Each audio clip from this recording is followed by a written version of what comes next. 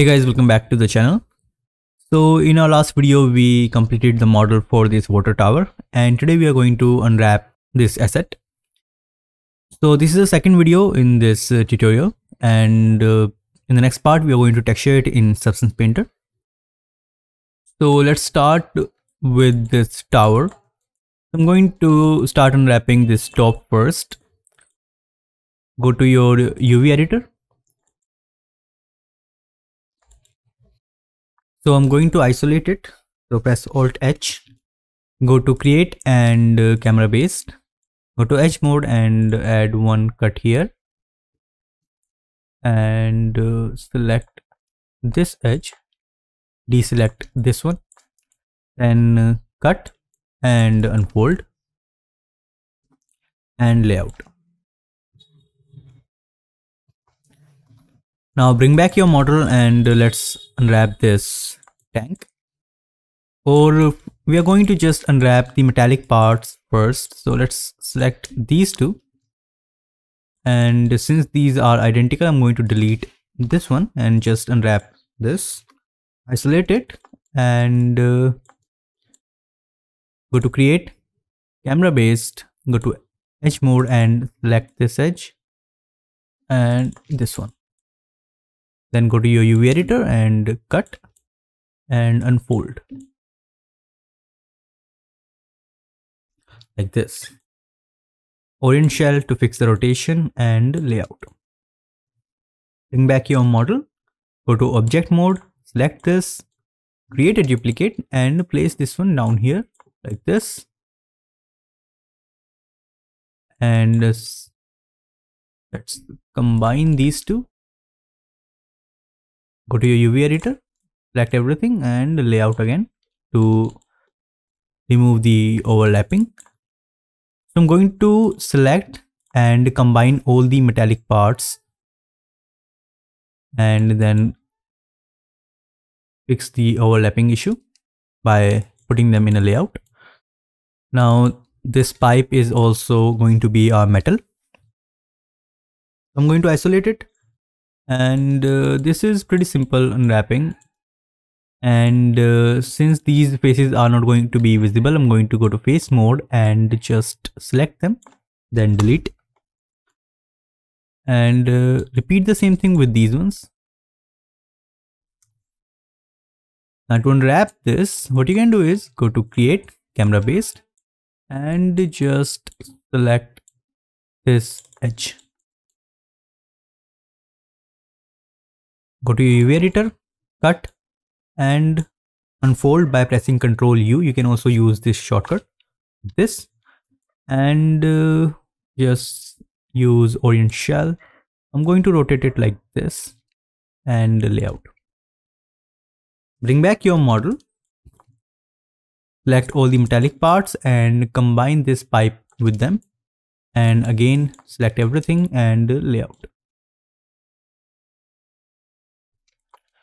Now we have few more metallic parts, these supports.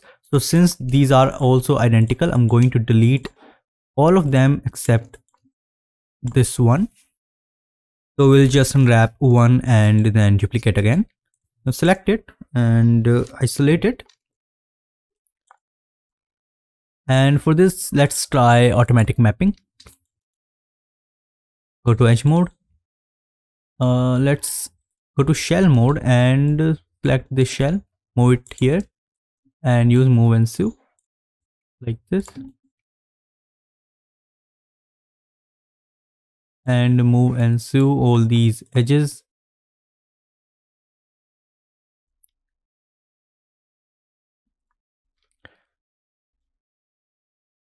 Like this. And uh, here on the top and the bottom you'll see these unattached edges so what you can do is uh, you can select these edges and move and sew. Repeat the same thing here, move and sew. And here. And you have to do the same thing in the bottom.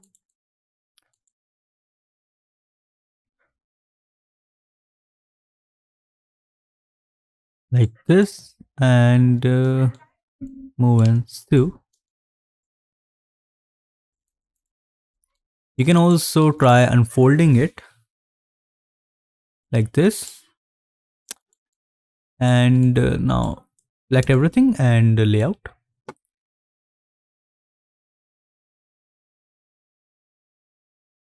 Bring back your model and uh, let's create a duplicate. So go to your front view and press Ctrl D to create a duplicate and place this one here. Then press Shift T to duplicate with the transformation like this. Now let's select these and move them this or we can just delete this one this one is extra so also uh, fix this gap if you see any in your model i'm going to select um, everything like this tower. And i'm just going to drag it down a little bit. Like this. And uh, to fix this pipe what you can do is go to vertex mode select these vertices and snap them here. Like this so we are done with the metallic parts. We just have to combine them. So i'm going to select them. Deselect this ladder. Also this tower. So we have selected all the metallic parts. So combine. And uh, go to UV shell then layout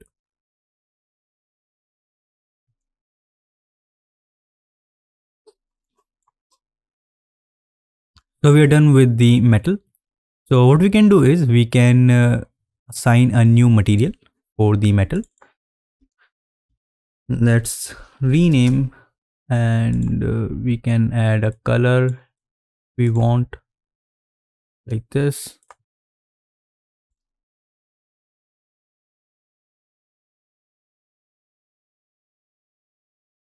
And now let's unwrap the wooden part. So we are going to start with this isolate it and uh, go to face mode. And uh, these faces are not going to be visible so we can also delete them or we can just keep them. It doesn't really matter if you're not worried about the polygon count in your project. So let's unwrap this with the camera based mapping. So go to create and use camera based go to edge mode select these two edges and uh, one edge here like this. Go to your UV uh, editor and cut then unfold. And our cylinder is unwrapped like this. Use orient shell to fix the rotation and unfold. Bring back your model. And uh, we are going to unwrap these four. Now these are also identical. And we can just uh, unwrap one and then duplicate again. But it's going to be too much work so i'm just going to unwrap all these. So first i'm going to combine them and uh, go to create. And we're going to use automatic mapping for these ones. So go to edge mode and move and sew. So select this bring it out here. Again move and sew. And one more time. And one at the top and the bottom. And we're going to repeat the same thing with this one move and sew one top and one at the bottom. Again move and sew one top and one at the bottom. And at last this one and now we can put them in a layout. So if we deleted these three and then duplicated again it would be too much work because we have to align every support pillar exactly to the place where they were before. So i'm just going to select these four now and repeat the same thing with these ones. So combine and go to create then automatic mapping. Bring this one here and uh, select these two sides move and sew. One more time and one at the top at the bottom. Now select this one. Again select both edges on the sides move and sew.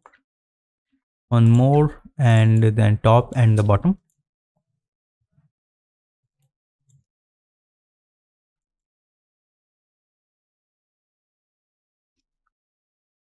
so that's how pretty much every cube wrapped so you just have to merge these sides together and uh, attach the top and the bottom part. And now you can select them and layout. And we can combine them with these four.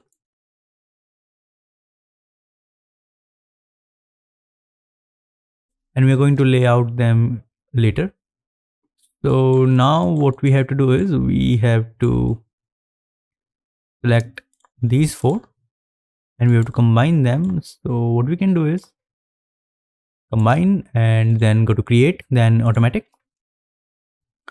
Now select one of them and bring it here. Select the edge and move and sew on the side and one more time. Do the same with this one like this and all these parts. And select everything then unfold and layout.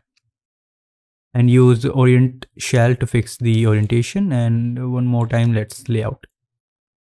And we are done with these supports. And we are going to quickly unwrap uh, these last four. Combine them and go to create then automatic. And repeat the same process we just did with these four. Move and sew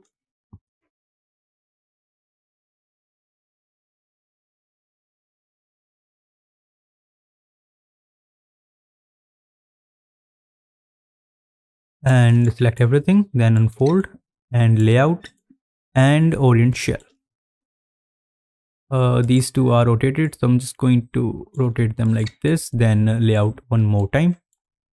And we are done with these support. I'm just going to select everything and uh, combine. Then go to uv shells and layout like this. Now we just need to unwrap this ladder.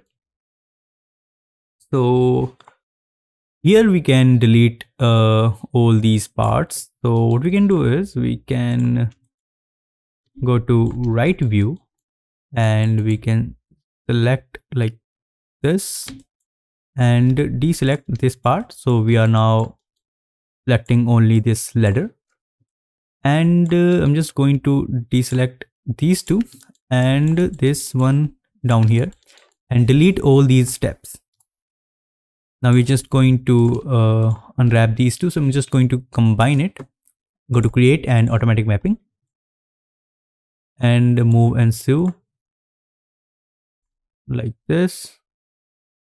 Repeat the same thing with these ones top and the bottom and same with this one and layout. Now with the step what we can do is let's isolate it first and see if these have uh, side faces. So we deleted these faces in our last video. So these faces are not going to be visible so we don't need them anymore. So what we can do is bring back your model and i'm just going to create automatic mapping and just move and sew these edges. And this is unwrapped and uh, layout.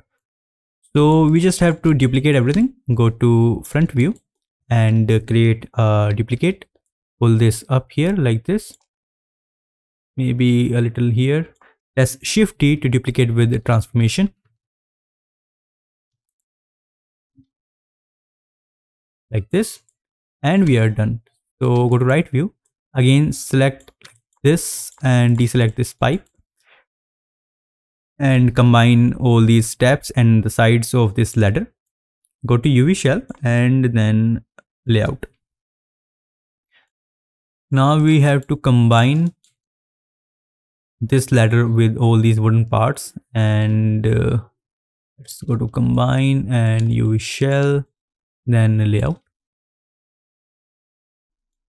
now we have this uh, water tank. Now you can keep it separate or you can combine it with all these wooden parts. So i'm just going to combine it. So because this is also going to be uh, wooden material so go to combine and uh, let's select everything and layout like this. So now we have uh, two materials. Let's apply a blend on the wooden part and rename it as wood. And let's paint it blue.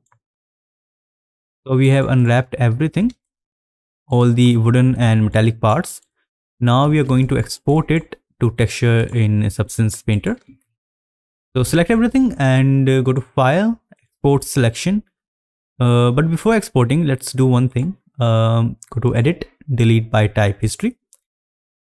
Select this part edit delete by type history. Now select this one edit delete by type history. Now select everything and uh, let's export selection. And rename it water tower and I'm going to export it as OBJ. Sometimes uh, FBX doesn't work properly in Substance Painter. So let's keep it OBJ and export. So that's pretty much it for this video and in our next part we are going to texture it in Substance Painter and we're also going to use some external textures from Quixel Bridge uh, for our water tower and I'm going to drop all those links in the description so that you can have access to all the resources I'm using for this particular project. So I'll see you in the next video. Thanks for watching. And if you're interested in learning the basics of Maya, we have a course going on for members only. We're going to go over the basics and we're going to do some projects in this course. So join the channel and become a member to get access to all that. And I'll see you in the next one. Thanks for watching.